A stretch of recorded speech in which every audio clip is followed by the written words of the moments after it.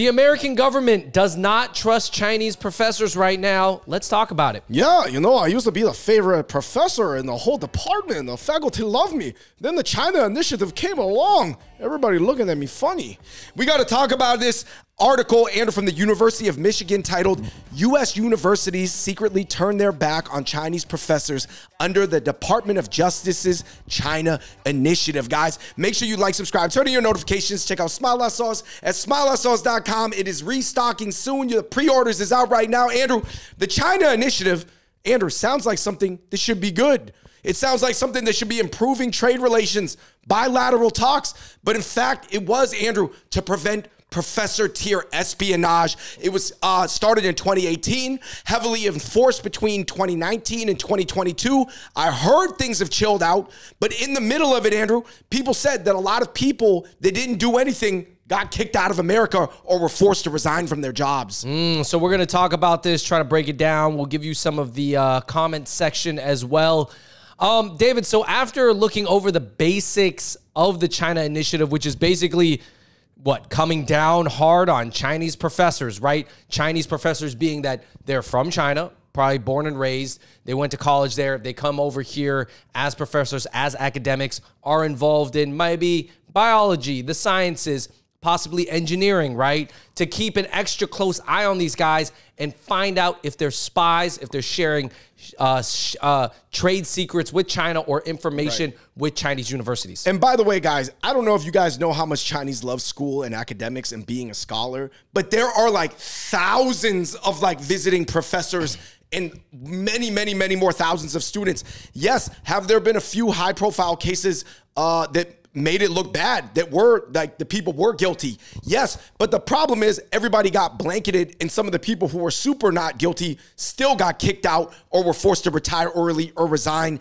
And uh, for example, Andrew, one guy named uh, Chen Gang or Gang Chen was a MIT mechanical engineering professor and he was arrested on hiding of links to China.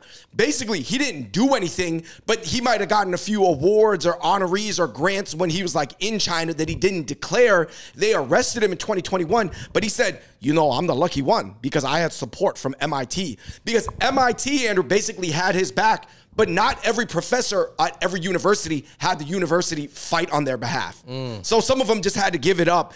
And I just think like this, man, it's really unfortunate. These are just like the times that we're in right now, right? It's like a, I don't want to say, Andrew, it's an outright Cold War between America and China right now, but it's definitely a pretty cool war.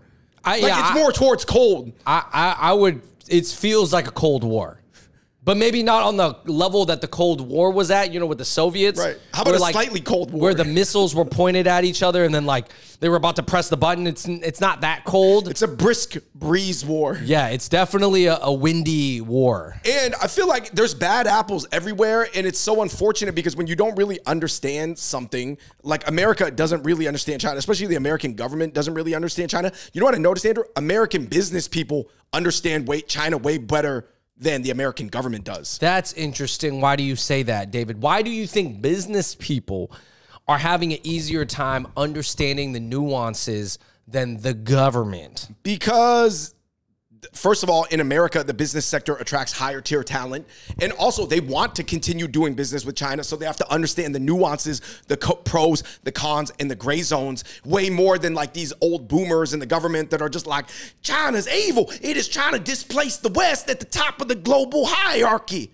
You know what I mean? Where I, I see where they're coming from too, but it's like way more nuanced than that, even though that's not like I guess the a thousand percent wrong thought. It's just super unnuanced. Right. I think in the business world, there's been like a lot of sharing and so much collaboration. Like, no matter what the government says about China, the business people are working with China like all day long. Right. like, even if we go to a hot war, like hypothetically, David, this is, and I don't think this is actually close to happening, but let's say there are missiles firing across the waters and there are Chinese military and American military dying on both sides, there will still be trade with China.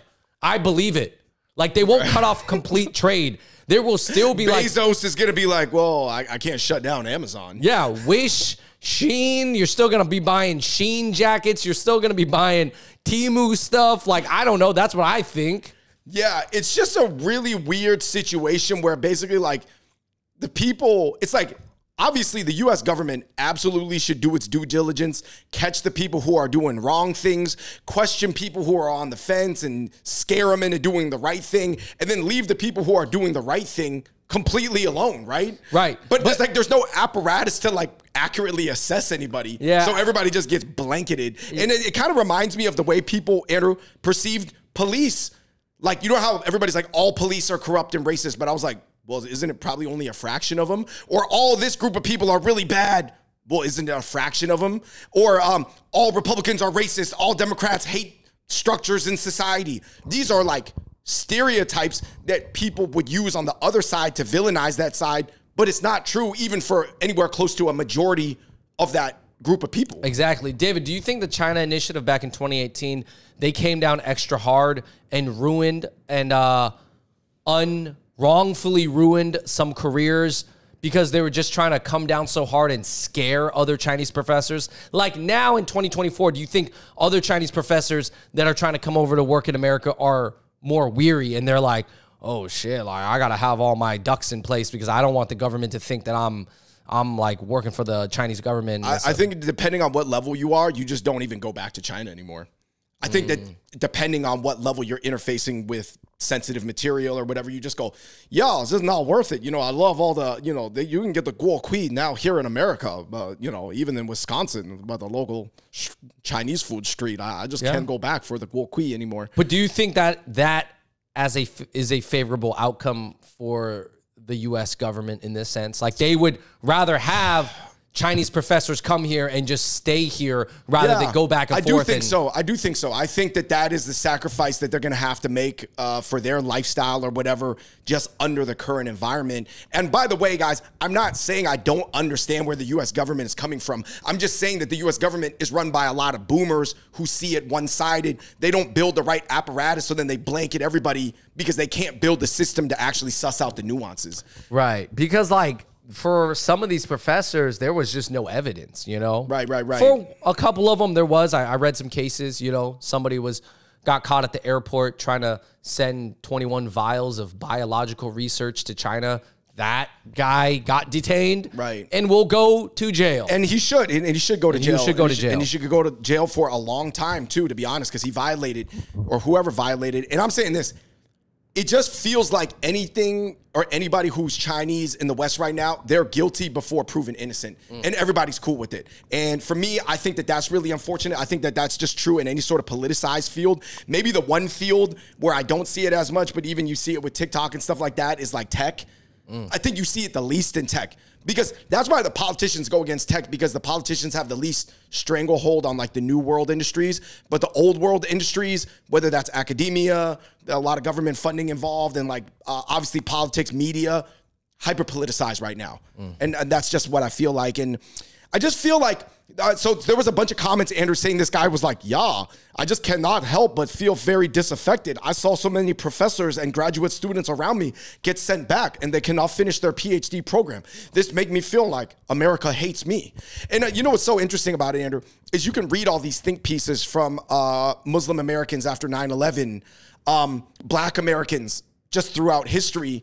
There's so many conflicting feelings, but it's like, for me, I, I would tell people that it's just like, man, it's just such a complicated time right now because people are not like seeing the nuance in each other. And then they feel like China cheated first with stealing IP to come up as a country, but then China's gonna look at the opium wars and all the other stuff and how it was the factory, world's factory for a while. So, you know what I mean? Like, I'm just saying it's so funny because if you really study it, it's just so complicated and layered. No, most people, like, I don't know, like 75 to 85% of Americans just don't want to do it. So they just going to blanket it, right? And I just think that that's a really unfortunate time right now. And, um, you know, a lot of people were talking about how come Germans and Russians never got treated that same way because they like, they could pass as white in America. I do remember at one point Russians were treated a little bit more like that though when I was growing up. Yeah, and I would say, like, anecdotally speaking, from a cultural sense, white people see a lot of Russian people as outsiders of the white race. Although visually they can pass, but they kind of like make fun of Russians. Right. If say. Vladimir pulls up in the M3, the older ME46 with the leather jacket on, smoking a cigarette, white people are like, oh, check But out. also, guys, there's not even the number of Russian scientists in America as there are Chinese professors. Like Chinese scientists from China, there's thousands in America. Like thousands of professors, academics, scientists, researchers. if you're watching this video, you've probably had a Chinese professor or TA guaranteed because academia and like scholarliness and scholastics, it's like you have to understand in the Chinese culture is so revered and valued as a profession. Like it's like the top two. No, you know, I mean, I to personally, rich. within our extended family and our friends and family, I have friends whose parents are literally Chinese professors and scientists. So, I know like 20. yeah. so that's a lot. Um, somebody said, "Why is a baby civilization so scared of the ascension of a much older civilization?" This was from a Chinese guy. Oh, what are you watching? Three body problem? Huh? But then a white guy came through and said, "Well, if you look at Anglo civilization as a somewhat unbroken connection to Greek civilization, even though the language is different, then technically it's just as old." If you count Anglo civilization being linked to the Romans, being linked to the Greeks. And then he said, uh, plus, the, only the last 100 or 150 years of history really matter anyway. This is like his theory on uh, civilizations. And of course, this turns into a whole civilization battle that geeks and nerds on Reddit love to fucking get, you know, engage in. And then um, ultimately, somebody just said, as a Chinese American myself, it's a very gray zone. It's just a shame that there has to be collective punishment on the wrong actions of a few. Um, ultimately, I'll say this, man. Everybody has a different threshold of where they're willing to go, Andrew.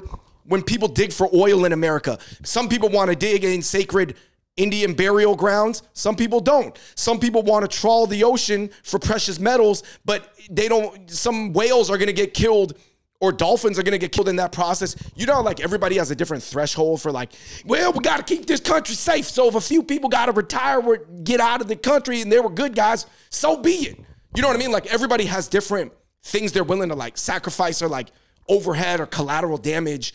And I just wish that, especially like as much as like America's gonna do, you know, be frenemies with China moving forward, you need more people in infrastructure positions that actually understand what's going on. Because the business people, they always see the nuance, but the government people are more like, yeah, mm-hmm. you know what I mean? Like, yeah, but they're, they're challenging the West. And I'm like, hey guys, listen, I'm not saying there's nothing to that, but it's way more layered and way more intellectual than that. And um, yeah, I just think as a Chinese American, it's really interesting because everything regarding China sort of gets blown out of proportion, and you can't help but feel it on a slight micro level. Trickle down. So I think that's really unfortunate. But I would say to Chinese Americans, it's just like, hey, man, it's gonna be this way for the next couple decades, you know, and um, you gotta just you can't just you you got to develop your own sense of what is the truth or what is not the truth or like even what you know and don't know. You just cannot listen to the media. Right. I agree. So you guys let us know what you guys think down below about these stories. Obviously, there have been some Chinese spies since the initiative in 2018, a couple cases, but uh, I, I think there's definitely a lot of stories of Chinese professors' lives and careers being ruined wrongfully.